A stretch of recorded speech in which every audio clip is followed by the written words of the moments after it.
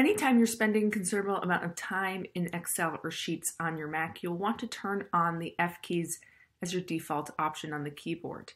In order to do so, navigate to your System Preferences, navigate to Keyboard. On a newer Mac, you'll have an option to show what your touch bar is showing. Currently, mine says App Controls. I want to change that to F1, F2, etc. keys. You're all set. If you want to change it back, simply go to your System Preferences, Keyboard, and change it back to App Controls.